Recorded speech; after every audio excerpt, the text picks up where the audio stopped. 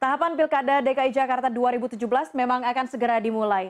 Namun, PDI Perjuangan belum memutuskan siapa pasangan calon gubernur dan wakil gubernur DKI yang akan diusungnya.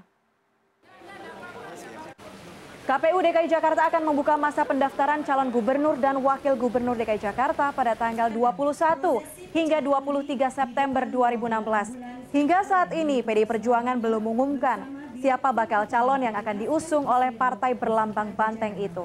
Kemungkinan besar PDIP akan mengumumkan pada saat-saat terakhir masa pendaftaran sebagai bagian dari strategi politik. Salah satu nama yang disebut sebagai calon dari PDIP adalah Wali Kota Surabaya, Tri Risma hari ini.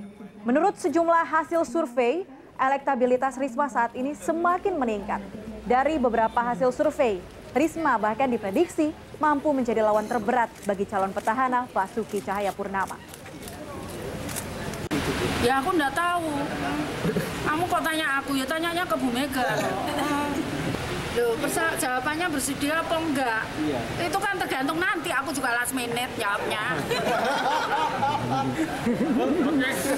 Jadi enggak sekarang jawabnya. Jawabnya last minute.